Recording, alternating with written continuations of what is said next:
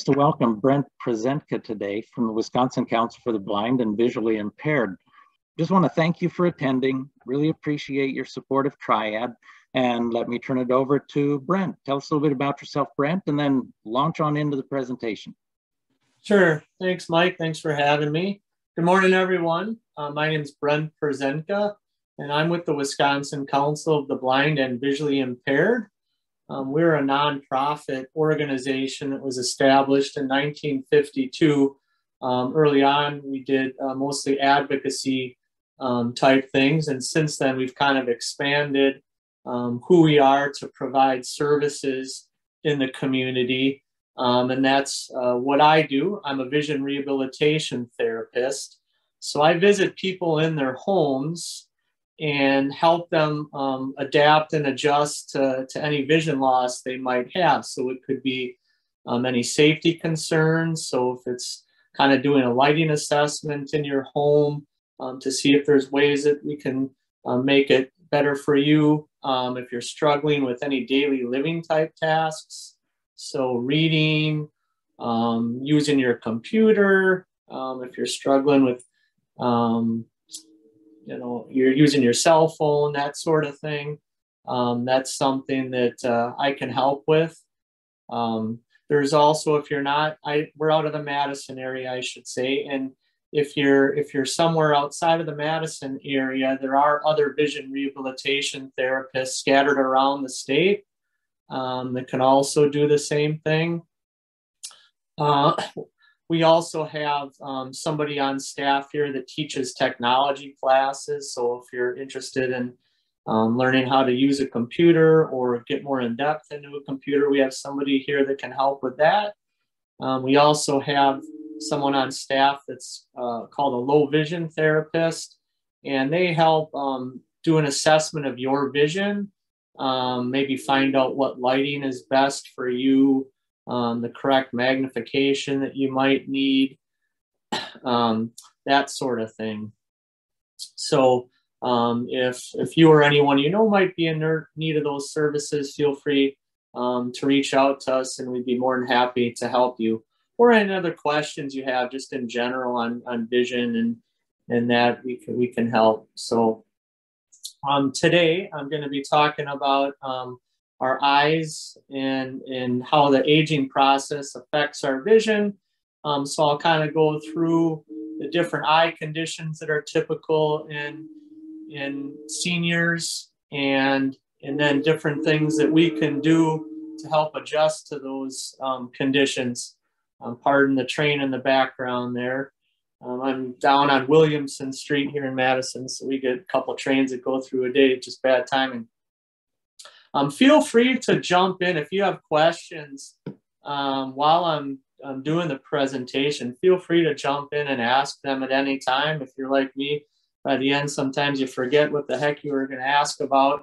Um, so I, would be more than happy to answer any of those as we go along.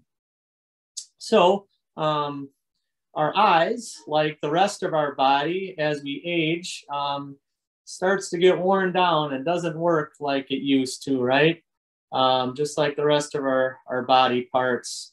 Um, so for whatever reason, I tend to always, you, you think that, oh, my eyes are different, right? That they're not, you know, they're not my knees that are walking with. They're still gonna, you know, over time start to um, fatigue and break down. So typical things that you'll see um, as you age, and I'm sure many of you have already experienced these are um, maybe your your tear ducts don't work as well.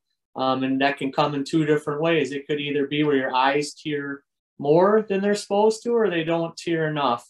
Um, and usually your eye doctor when you do your eye test um, it's part of the the vision test and they'll prescribe drops for for either one of those conditions. Um, the muscles in our eyes um, start to weaken as we age. So what that means is um, like if I'm going to look at something across the room and I'm going to zero in on it, maybe one eye's muscles aren't working as well as the other eye. And so your depth perception might be thrown off a little bit um, when you're trying to see something. Um, and there's not a lot you can do about that besides just taking your time um, with your depth perception. So if you're if you're walking um, or you're reaching for something, um, to just take your time um, in doing so. Um, the other thing that um, happens as we age is we need more light. So I'm sure most of us, I know at my age, I'm 47, I've already noticed that I, I need a light when I'm reading. In fact, a, a study that was done recently said that at the age of 80, we needed four times the amount of light um, to do task type word work as we did when we were 18 years old. So that really indicates how, how important light is as we age. Um, and later on, I'll, I'll kind of go through different lighting options um, that make things a little bit um, easier for us. Uh, the other thing that happens as we age is um, we struggle a little more with contrast. So if let's say you're looking at something that's blue on purple, it's really hard to decipher, you know, what that might say if it's letters or or something we're trying to read. Where contrast makes a, a much bigger difference. So having something that's black on white or white on black is is much more important um, for us to be able to see it. And I always um, stress to people, don't be afraid to advocate for yourself. So let's say you know, at your church service nowadays, a lot of times they'll put stuff up, um, uh, like the the hymnals or whatever, where you can read it. You know, and if they're putting it on blue on on purple, you know, don't be afraid to go to them and say, could you please put that, you know, in black on white or white on black, um, to make it easier to see. Um, you know, it, it's it's I like pretty things too, so like pretty fonts and pretty colors are always nice, but um, sometimes they're not always um, practical for everything we do. So if you're involved in, in you know an organization or anything like that that you you notice like boy I really struggle to read this don't be afraid to to speak up and advocate for yourself because chances are there's probably you know many other people that are thinking the same thing and they're they're just afraid to speak up um, so the other thing that happens is um, as we age our, our night um, vision um, decreases um, again, I'm sure most of you notice this. I notice it at my age where driving at night becomes much more difficult um, as we age. Uh, so uh, there's things that you can do to help help that. Um, one would be to try to do most of your errands or driving during the day, if if you can. Um, if you are out at night, um, there are um, uh, certain um, eye filters you can wear if you struggle with oncoming headlights at night that can block out those blue lights. Um, they're called blue blockers. Um, they're yellow in tint. So I have a pair here that I'll kind of hold up. So this is, and I'll put it down here. This is kind of what they look like. These particular ones, these can fit over over glasses that you can wear. Um, even at night, and they're not going to make things darker. Um, so you, they also make some like in flip ups or slip ins that you can get. Um, this particular pair we sell here at the council, they're like $15. You can get some of the slip ins or clip ons for about $4. Um, so that's something that um, can help with that situation. Um, so other eye conditions that, that start to affect us as we age, um, the number one eye condition um, that affects um, people um, as they age is cataracts. Um, I'm sure there's many people uh, here today that have had cataract surgery. Um, most of the time, the majority of the time, if you have cataracts, your eye doctor should be able to identify that and it's usually just a day surgery um, that's done. Uh, what happens uh, with cataracts is over time, um, it's, it's kind of like your eye just starts getting dirty, right? Where uh, kind of like a window over time, and it just it's a slow thing that all of a sudden you don't even hardly notice it until it's bad enough, or it's like, boy, I, I don't see that as well. Um, and they do one eye at a time. Sometimes they might only do one eye. Uh, it depends. Um, I have to wait two weeks in between each eye uh, to do the surgery. Um, but most people um, have success with it. Uh, my my father, uh, he's he's legally blind himself. He's got um, ocular albinism, so it's a condition he's had since birth. Um, so he's never seen well. He's uh, but he has low vision. Um, and as he got older, he he was really struggling to see stuff, and he had the cataract surgery. And he said he saw better um, at the age of 74 than he did when he was 18 after he had the cataract surgery. That's how much it had helped him. So that's the number one um, eye condition that, that happens as we age. And hopefully, with some um, surgery, it, it can help you um, see better over time. The, uh, the second eye condition that's most common in seniors is uh, what's called age-related macular degeneration. Uh, my guess is there's probably somebody on here that has macular degeneration. Um, it affects uh, about one in 10 seniors. And as you age, that percentage goes up and up.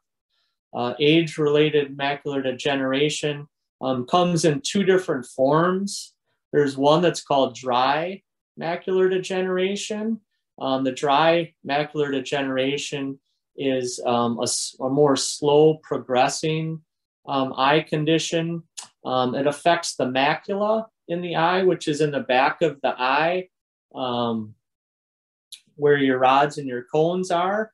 Um, and what tends to happen when you have macular degeneration is you start to get spots in your central vision.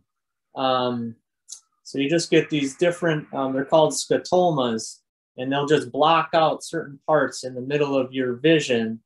Um, so especially for task type work like reading, all of a sudden you're you have certain letters that are blocked out um, when you're trying to read um, or any sort of other task work that revolve it, um, requires your central vision. So you might even, if you are talking to somebody, might have uh, their whole face blocked out if your scotoma is big enough where you don't know who that is. Um, generally, your peripheral vision still works. So kind of if you tilt your head and look out, you, you might be able to see that that individual. And that's when it gets, you know, worse. Um, for most people, it doesn't get that that bad, but it really depends on the person. Um, with dry macular degeneration, there's there's not any surgical surgical procedures um, that can be done right now. Um, they are working um, right here at the at the UW of Madison is the the lead university in research on macular degeneration and doing stem cell um, research. Um, and they've they've gotten come far enough that they're at the the clinical stage where they're um, t- actually have people testing on these stem cell implants. Um, so hopefully here in the next cu- couple of years, they'll be able to, to do some surgery, some stem cell stuff to, to make it um, where people can see better if they have macular degeneration. Uh, other things that can help with macular degeneration or magnification um, type solutions. So if you think about if you have small print and your um, scotoma is blocking out a whole word, if you can magnify that word to make it bigger, where it's only taken out maybe two of the letters, and then you can kind of piece the rest of the word together, um, that can help in, in reading um, type things. So magnification generally helps a lot um, for people that have macular degeneration. Um, Brent, I wanted to ask a question here. You know, my uh, optometrist says I have floaters you know, I get like these little lines that cross my vision every once in a while, you know, and they're annoying, but they don't block out uh, entire words. These uh, scotomas sound like really difficult things to deal with. Yeah, because they're they're going to be permanent. Um, those floaters, as as you know, kind of come and go. Mm-hmm. Um, uh, whereas uh, with the scotomas, they're permanent, and they'll never go away um, once they're there. Um, so it's it's bleeding that happens in the macula, and then it scars. And um, so if you picture like a honeycomb, right, mm-hmm. and then a few of those honeycombs die, and so those are where where you're getting those spots. Um, that happen ha- that happens. The and then the other the other macular degeneration um, they refer to as wet macular degeneration. And that one is much faster progressing. Um, whereas the dry one happens over time. The wet one can happen really quick. Um, so it's it's important that if you have any changes in your vision that are sudden don't put it off. Don't don't say oh i got my you know eye test in three months. I'll wait and talk to them about it then. If, if it's a sudden change you know go get in right away because they might be able to to stop whatever's going on. And that's what happens with met, wet macular degeneration. There's bleeding that happens in the eye. And they can they can do shots a lot of times to to stop that bleeding from getting worse um, they can't repair any damage that's been done but they can stop it um, from getting worse. Um, so that's that's definitely something that's highly recommended as far as you know making sure to, to get in right away if you notice any um, sudden changes in your vision. Um, so the the third leading cause that's that's all i have for macular degeneration unless anybody has any questions on that okay the third leading cause um, of eye conditions that happen as we age is glaucoma um, so with glaucoma what tends to happen is there's going to be damage in your optic nerve and the optic nerve is the is the the part of um, your vision that, that sends the signals from your eye back to your brain. So your, you know, how it works is our eyes take in the information that we're, we're looking at, and then the optic nerve sends whatever we're seeing back to the brain. Um, and with glaucoma, there's there's damage to that optic nerve um, that that happens. And what usually happens with glaucoma is it starts to to look a little bit foggy um, with that one, you tend to lose your peripheral vision. So it gets foggier more around the outside. Um, and you really struggle more with light and dark adaptation. Um, so definitely need more light um, when you have glaucoma. Um, let's see. So I had a question here from Ginny that asked how often should somebody over 70 see an ophthalmologist. And um, once you get over 70, um, once a year is optimal. If, if, if your insurance, if they'll, um, if you're on Medicare, they should cover that. Otherwise, every two years um, is, was what a lot of people do. But I would say go every year if you can.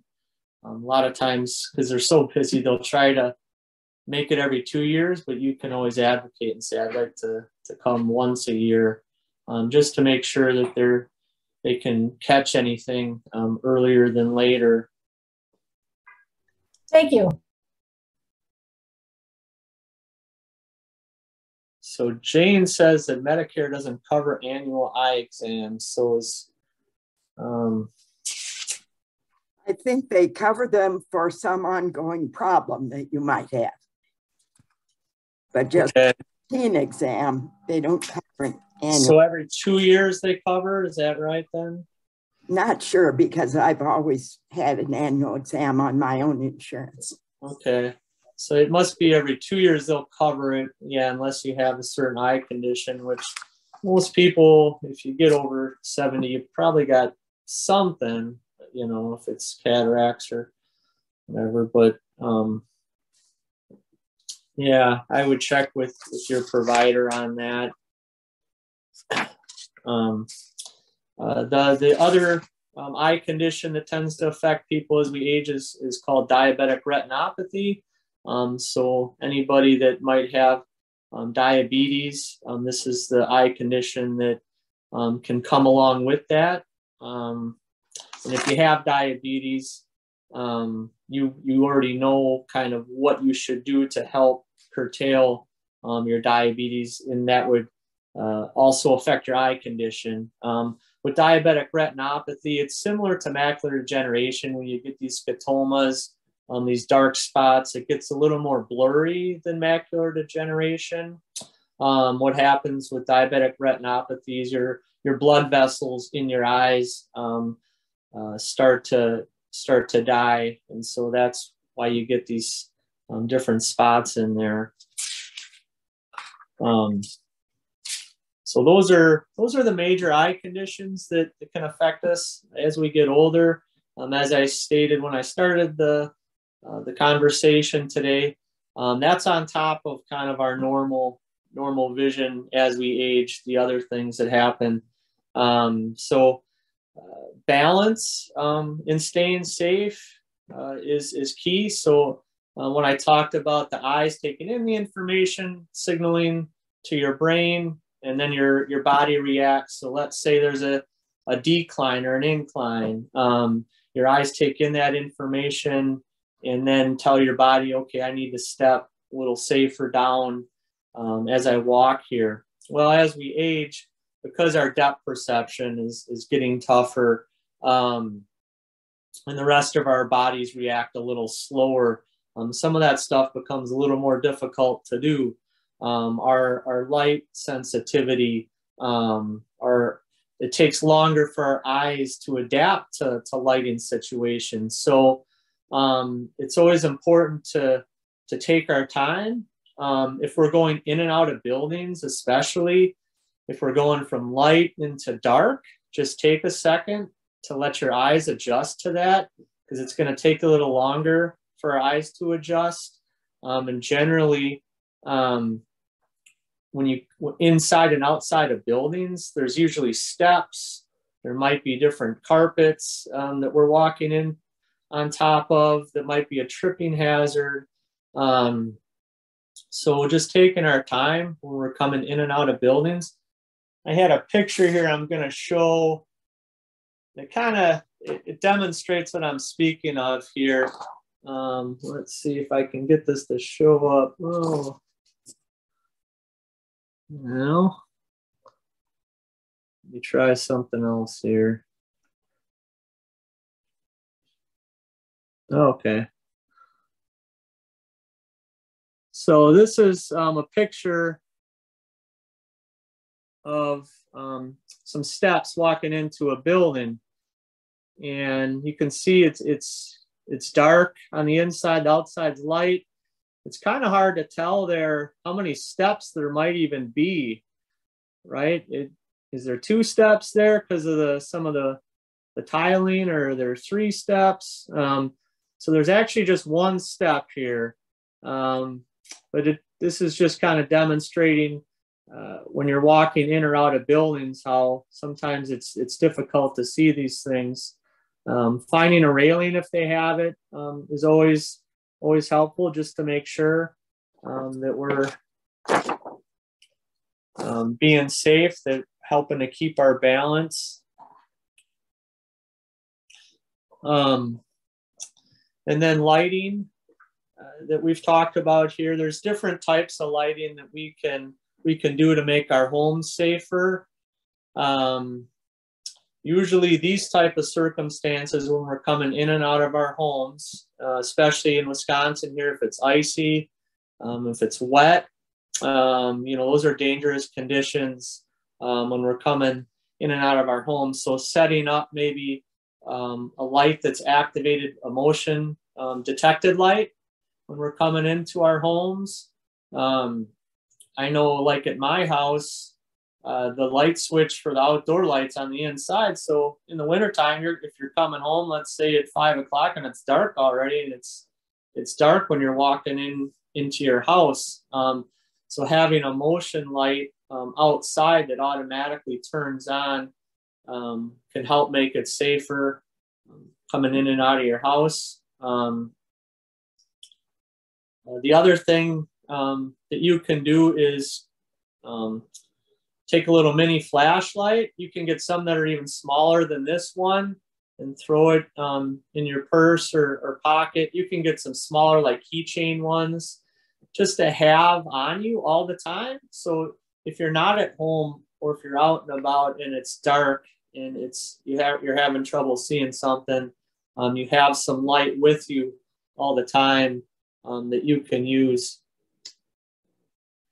Looks like I got a question. Okay, I'm sorry. At, uh, Arlie has asked, um, does race play a factor in eye conditions that we were talking about earlier? And they do. Um, so like macular degeneration tends to affect um, more um, Caucasians with blue eyes. Um, uh, that's not way, you know, they're not just because you have, you know, blue eyes doesn't mean you're going to have it, but um, tend, that tends to be the more, uh, the higher percentage of people that have macular degeneration have um, blue eyes. Um, uh, glaucoma um, tends to affect uh, more um, Hispanic and African American um, races more than, than others. But again, every, and everybody can get any of these, but that tends to, um, they have a higher percentage um, when it comes to that. Um, so those, those two eye conditions specifically, uh, race can make a difference. So hopefully that helped answer your, answer your question. Um, so the other thing with lighting is um, any anywhere that you have steps, um, basements tend to be a biggie. You know, if you if you have an old old basement that's you know dark and doesn't have new lighting that's installed, um, putting in some additional lighting there, and there's some different ways you can do that. Um, again, you could go with like a motion sensor light when you start going down the stairs. It, it turns on. Um, there's smaller type lights that look like this that you could have a couple of them going down your steps.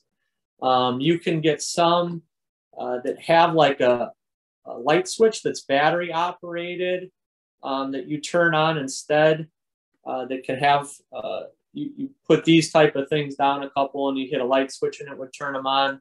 You can get strip lighting um, at like hardware stores so it actually tapes on. Um, the, the side of your stairs as you go down. Uh, and that's battery operated as well, where you turn on the switch and it's just like a little like tape, rolls out like tape and sticks on on their LED lights. Um, I put them on a few people's homes on their basement steps going down. Um, so that type of lighting anywhere that you have steps out, you know, outside in the back. Um, if you have steps um, in your backyard. Um, it's important to do that.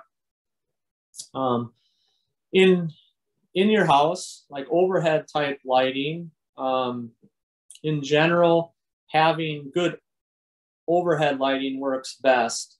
Um, the, the table lamps that you have in your house that you might have on the, you know, your side table or something, um, they really don't do a very good job of, of, spreading that light so that it really lights up everywhere in your home. Um, if you can't, uh, you know, if you can't do a whole redo in your house, and I don't expect most people to do that for overhead lighting, um, the torchiere lamps, they're called, uh, that have kind of come in uh, popularity the last 10 or 20 years. The ones that kind of point up towards the ceiling, they got like the bowl shape that point up. Um, those do a pretty good job if you have um, white um, ceilings because what they're designed to do is reflect that light off the ceiling and then spread it over your room. Um, so if you have a couple of those, um, like if it's your family room, one or two of those usually can help help a lot in in general lighting. Um, if it's task related type things, so if you're trying to read or do some um, crafts or hobbies, um, having lighting that can direct the light right on what you're doing um, is the best solution. So uh, most um, most like hobby stores might have that. You can find them at hardware stores too. Um, they're referred by different names. Um, full spectrum lighting is the name of a popular one. Uh, they'll also call it blue lighting. So instead of like the traditional old incandescent lights that you that you would have that are kind of like a yellow dullish type of light um, these newer lights like the led lights um, or these full spectrum lights have more of a white or a blue type light that really helps with contrast. So if you're reading like a newspaper that's got kind of like a grayish background on it, uh, the LED lights or the, the full spectrum and blue lights um, help make that look more like it's black on white. And you can get different variants of those. So you can get floor ones that have bendable necks. So if you're sitting in your armchair, you put it kind of behind your shoulder. So while you're doing something, it directs that light right on what you're reading. Uh, you can find them in table versions. Same concept. Usually they got kind of bendable necks where you can direct that light um, right towards what you're reading. Um, you don't want it pointing towards your eyes. You always want it po- pointed towards um, whatever you're reading. Um, so those are the best options um, for lighting um, that you can do around your house. Any questions on on that? There was a question uh, in the chat box, uh, Brent, real quick on uh, does uh, high blood pressure worsen glaucoma pressure? Um, yeah, it it it does. Um, so yeah, glaucoma. There's pressure that gets put, and they can um, a lot of times do do drops that help take down that pressure. Um, but your blood pressure really affects any blood flow in any part of your body. Um, so that would definitely be something to consult with your with your eye doctor about. Um, if if they haven't talked about it already, usually it should be under their radar. Um, but yeah, it definitely does. I was wondering about uh, you know, the different types of light. You know, in the evening, you know, if I have these uh, blue lights on, you know, they say, well, blue light interrupts your sleep cycle, right? You should stop using blue light at a certain time of the day. And uh, are there any, I mean, there must be something in between, uh, you know, the blue light and, uh, yeah, yeah, I like the traditional light, but I can see where as you get, you know, vision difficulties, you would want to optimize, you know, your vision more than your comfort, I suppose. Yeah, you bet. Good question. Thanks for bringing that up. Because um, there are um, lamps now where you can adjust um, both the color of the light. Um, so you could go from the, uh, the blue to a white to a soft yellow. The other thing you can do on some of these newer lights is adjust the brightness of that. So even if you still had like the blue or the white light, you can make it a dimmer version so it's not so bright. Um, one of the name brands I know that's out there for those type of lights is called Verilux. Mm-hmm. Um, you know, it depends. Uh, the cost of those can vary um, anywhere from fifty dollars to you know a few hundred dollars, depending on you know the lamp you get. But I would say you could get a pretty good quality one for fifty to a hundred dollars um, that type of light. So Verilux is the one that that I'm most aware with of. Mm-hmm. If you're working in the kitchen, I mean, I'm thinking uh, we were thinking about revising uh, some of the lighting under our uh, cabinetry and whatnot, so that we don't cut the end of a finger off. You know, uh, mm-hmm. what kind of advice would you have for people uh, for kitchen lighting? Yeah, yeah, there's some pretty simple solutions for for kitchens most of the time. Um, you can go to any hardware store and they have some pretty good under cabinet type lighting that's battery operated, so you don't even need to plug them in. Uh, most of them have LED lights. Um, you can direct that lighting. Um, those cost uh, about twenty dollars or so for each each one um, that you can put under. Uh, you could always go, you know, more expensive if you really wanted to redo lighting and have a um, lighting professional come in and electrician and install. Um, but you can do it on your own, just going to Menards and buying three or, or however many to put under your counter. And it really does make a big difference because you think of the light up above, it's getting blocked by those cabinets a lot of times. So your counters, um, a lot of times are blocked from that light. Mm-hmm. I, I just wanted to say we put a light in um, over our sink and that helps a lot. Um, otherwise, I couldn't even get the dishes clean because I was missing stuff on there. And with that light on, it makes a big difference. Yeah, thanks for sharing that. And did you do that um, by just going to Menards or something and getting uh, one of those? Kind of thing you were talking about, where you just stick it up under your cabinet. Yeah. So cupboard's up above the sink, and then we put it up there, and that helps a, a lot. Otherwise, I miss stuff when I'm doing dishes. Sure. I wanted to show, I, have got this little device that I bought off of Amazon and it's got a little light at the bottom so you can turn it on and um, it, it, lights, it goes over your neck and then lights the paper below you. And um, it's not perfect, but sometimes when I'm sitting in a room that doesn't have good overhead lighting, this has worked. So it's just something to look for um, as another option. That's kind of cool, Jane. I've never seen yeah. one. And it's got little wiggly. This this thing wiggles, so you can like aim it toward your book or whatever.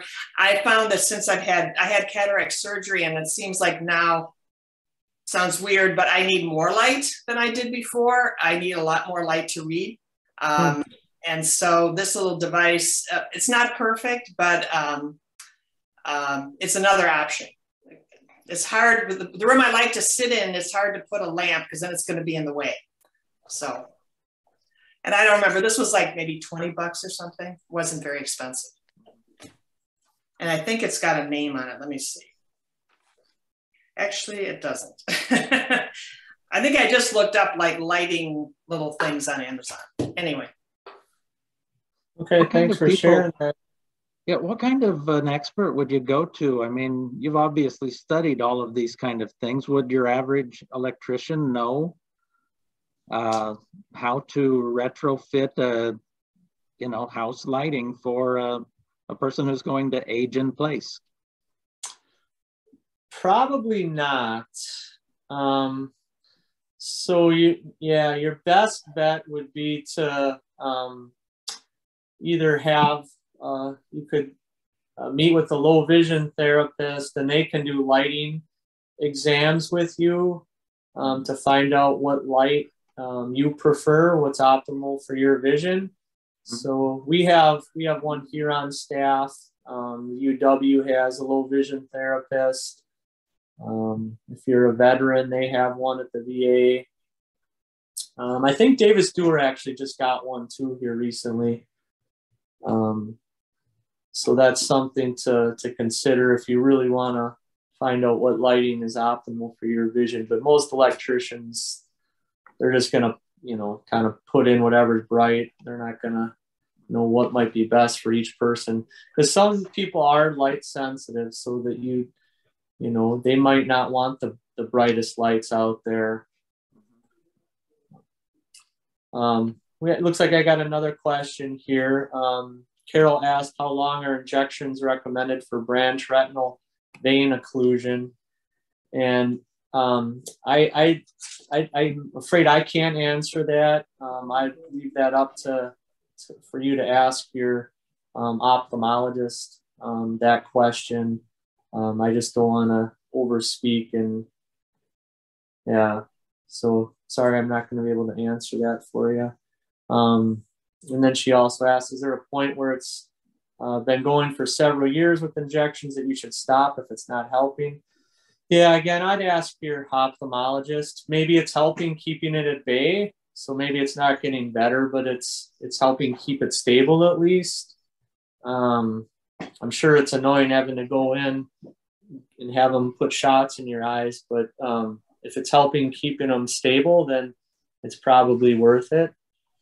So that that would be my two cents on it. Um, okay, so other things. Um, okay, it looks like Jane said the LED neck reading light's about twenty-two dollars on on Amazon. So other things that we can do around our house to make it safer. Uh, we talked about contrast early on and how um, our contrast sensitivity starts getting worse as we age. So, I mean, most of us kind of have our homes um, memorized as far as where steps might be, but think about if you have visitors too. You might have people visiting that aren't maybe they don't know there's one step down from your kitchen into your family room or that sort of thing. So just making sure that um, that that's easily defined if you can. Um, uh, I know we, we want our homes to look nice, so um, if there's ways you can do that, there's uh, you know different tape you can get um, that you can put just on the end of the, the step. Um, so it might be you can get some tactile type tape uh, that's different colors. So like yellow, they mix it with it's like sandpaper type of tape. Um, so and you can get it in different colors. So like I have one here that's yellow um, that you would tape down. A lot of people will do that more outside on their cement type steps. Um, and you can do that anyways, um, just for tactile reasons. So if you have cement steps outside that get slippery when it rains, um, some of that tape that's got sandpaper or, or sand in it um, to make it a little more tactile um, when you're walking down your steps can be helpful. Um, you know, throw rugs are always a tripping hazard. Um, any sort of um, anything that sticks up a little bit um, can, might be a tripping hazard.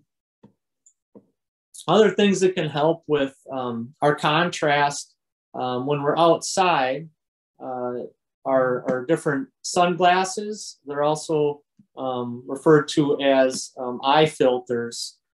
Um, so the typical sunglasses are gray, right, where they're blocking out the sun. Well, you can get that gray in different um, variants of tint. Um, it's called light transference, is kind of the, the technical name for the variants of tint. So if you had something that's 0% light transference, that means it, that it's letting in 0% of the light, so it's completely black. Um, the lower end of sunglasses that are dark are, you can, about 4% is about as dark as you can get it. Um, ideally, you know, we need some vision come or some light coming in to be able to see. So it's trying to find that balance for each person to find out, okay, how much light is best for me? And then kind of finding do I like a lighter gray? Do I need a darker gray? It may vary on the day. So if it's a bright sunny day in Wisconsin in the wintertime and there's sun and you're getting glare coming off of the snow, you may need a darker pair um, for those type of situations than if it's kind of a, a, a hazy day where the sunlight isn't as bright. Um, typically, Grays and amber colors are the two that are best for sunlight to block out that sunlight. And everybody's eyes are going to be a little bit different with what they might prefer. Um, so the best way to go about doing that um, is to go to some place that has a lot of options and, and asking them if you can try them on outside um, in the sun, hopefully, if, if that's the type of day you're looking to um, try to figure out. Um, so we we have those here at the Wisconsin Council of Blind. Uh, we're at 754 Williamson Street, um, where you could come in. Most of those sunglasses you're looking at about 15 to 25 dollars, so it doesn't cost a ton. Um, otherwise, it's your it's your eye doctor. They usually have some.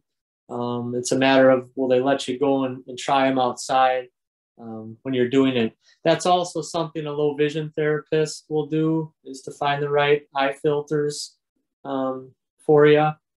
So the grays and the ambers, they're ideal for um, sunlight, for, for helping block out some of that light. But then there's also times that we need um, brightness, that maybe it's a darker overcast day and it's harder to see. Um, and that's where the yellow and orange tints tend to help. Um, they can help brighten things. Um, they can help with contrast. Uh, we talked about the yellow helping with blocking out the blue lights at headlights, um, but they'll also help um, brighten things um, on a darker day. You oftentimes see um, professional shooters will be wearing orange or yellow sunglasses because it helps with the contrast on the target that they're looking at. Um, Looks like I missed something here. Jenny talked about um, throw rugs with latex back on polished floors. Um, you removed when your mother-in-law had visited and she slipped on the polished area of the floor in the bathroom. Yeah, I'm sorry to hear that. The Um, I should have mentioned when I was talking about rugs. Yeah, if you can get some some of that latex um, and put it underneath the rug so it's not slippery. Um, if you have uh, throw rugs that are on uh, on a hard floor, um, getting some latex and putting that underneath it to make it not as slippery um, helps. Brent, what I'm wondering about driving. What kind of uh, special considerations are there for driving? Yeah. Um, so, uh, you know, reaction time as we mm-hmm. age gets a little slower. Um, and so, as I mentioned earlier, if you can do most of your driving during the day when there's better light, um, mm-hmm. that helps. Um, trying to stick to local routes um, that you know where the turns are, um, that sort of thing. If you're going to be on uh, the interstate or a busy city, trying to do that when the traffic isn't as high um, are good recommendations. Um, and kind of knowing yourself, being honest with yourself.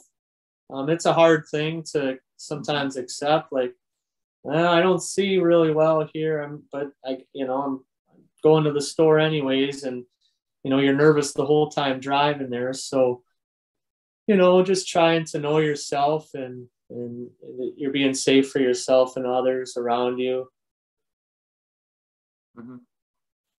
Are there any? Uh, I mean, I see some people wearing those uh, really big dark glasses. Uh, are there any complications with those so far as peripheral vision? I mean, they keep the, you know, I suppose they make the. I, I've never tried them. You know. Yeah. It just looks they dangerous were, to have something on the side of your head like that. Well, it depends. So if you're really light sensitive, you might need that side protection so light mm-hmm. isn't sneaking in. Um, it's, so it's really going to be a personal preference. Um, mm-hmm. Some people like myself, that would be too dark. I'd probably take those things off in a second. I prefer a little lighter type gray or lighter amber when I'm driving. Um, some people will get just the like clip on ones. So uh, mm-hmm. it's easier to, if all of a sudden you're going from light into dark, it's easier to flip them down quickly rather than have to pick up a pair of sunglasses and do that while you're driving. Yeah. Mm-hmm. Okay, thanks. Yeah, good, good question. Thanks. So some other things that we can do just to make sure we're maintaining um, the healthiest eyes. I mean, sunglasses are good; they protect your eyes. Um, sunlight does does damage your vision, so wearing sunglasses um, when you're in the sun uh, is helpful. Um, as always, a balanced diet um, is good. Um, smoking is really bad for for your eyes. Um, you know, sugar does affect your your blood vessels. Um, some of you may even notice if you have a lot of sugar, you may get a little blurry vision. So you're eating too much sugar in one setting, you know, moderation's better, but this this is true for pr- pretty much all of our body, right? Um, a good um, balanced diet of like healthy um, vegetables. The like to say the more colors you can have in your diet, the better. So, you know, carrots and you know leafy greens and any sort of vegetables, bright colors um, are good for our eyes to maintain um, our healthy vision. You can, you know, taking a basic vitamin um, works as well.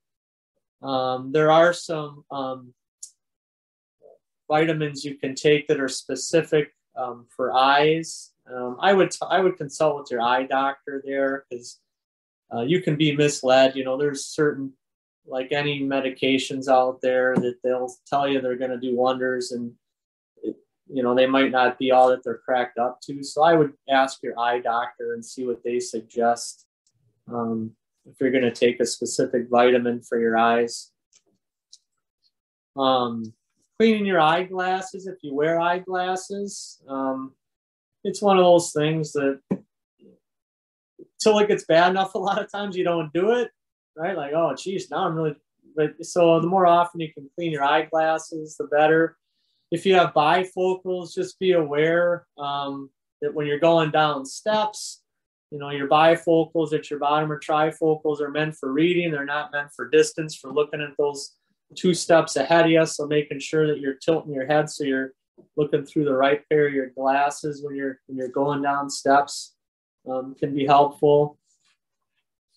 And then as we talked about at the beginning, you know, the more regularly you can see your eye doctor um, so that they might catch something as quick as possible, the better. Um, let's see, it looks like I had another question here.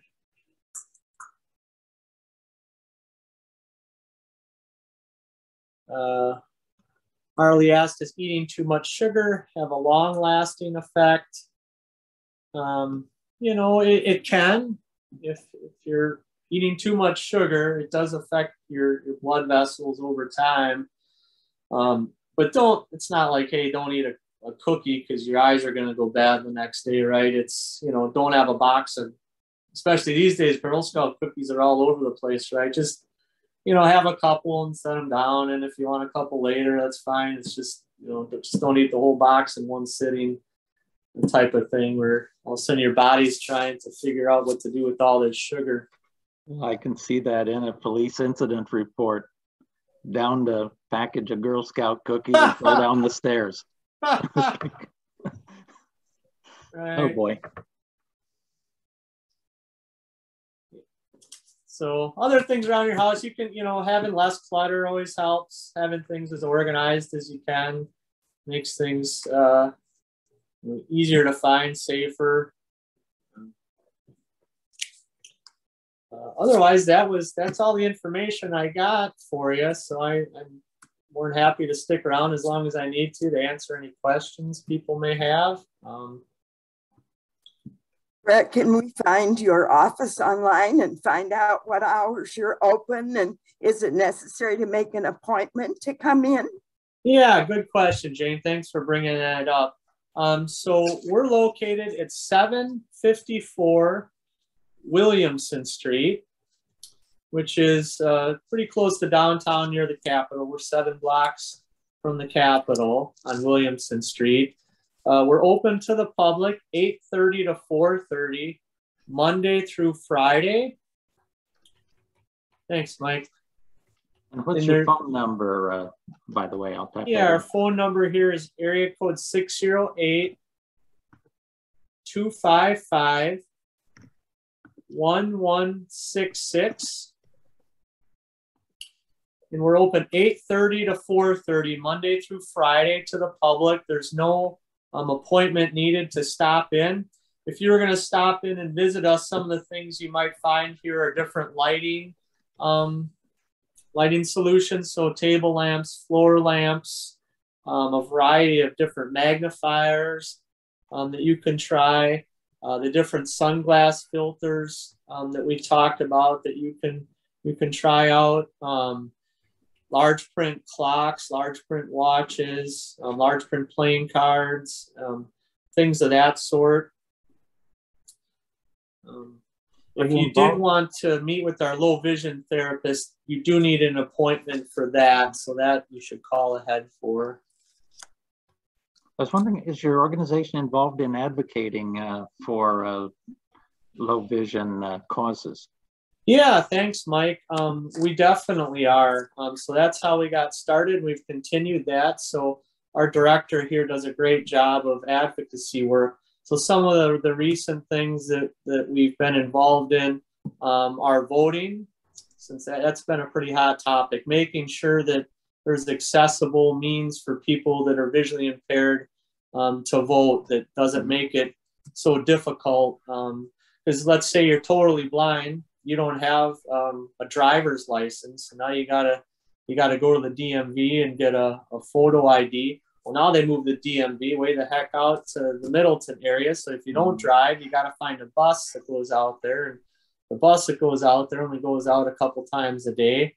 Um, and then if you got to get down to your voting facility, um, you know, you need to be able to get there. Are those voting machines accessible? Um, so those are some of the, the things we've been working on in, in voting. In transportation is kind of the, the other one that we're pretty mm-hmm. involved mm-hmm. with, making sure that there's transportation available for people um, that uh, might not have access to, to driving. So if they're visually impaired, um, especially rural areas, you know, if you live out in, in a rural area, um, it, there's no public transportation a lot of times that you can easily take, especially from county to county.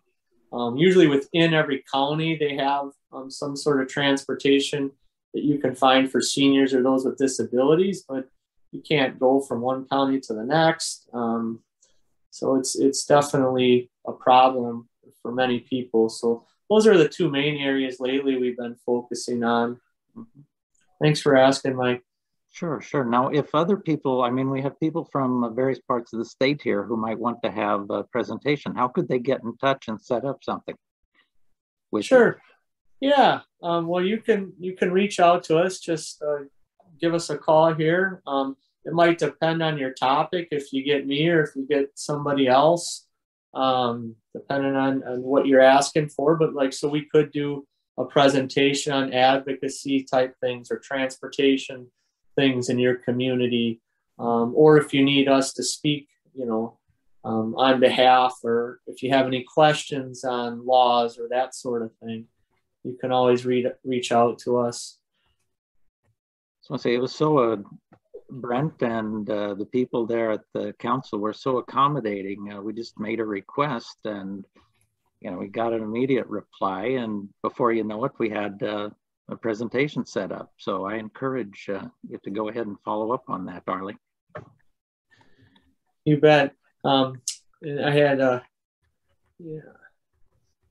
And, and then if you needed any sort of in-home um, type type stuff, that's that's what I would help with, so I can come to your home. There's no cost for me to come out um, to visit you um, and do kind of. I can do you know safety assessment of things, um, vision related, or uh, some of the other stuff I had mentioned earlier. If you're struggling with reading or seeing your computer, that sort of thing, I can help with that. Um, these days, um, so technology's been you know good and bad. So like um, there's ways to use your phone by speaking to it.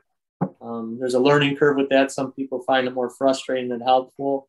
Um, or some in-home um, type devices like Alexa, if you're familiar with with her, or Google Home, where you speak to it and it it can do different things for you. So you can connect it to say, "Hey Alexa, turn off my lights," and she do so. Or, "Hey Alexa, what's the weather?" You could Alexa set a timer. Um, so it could help make things a little easier.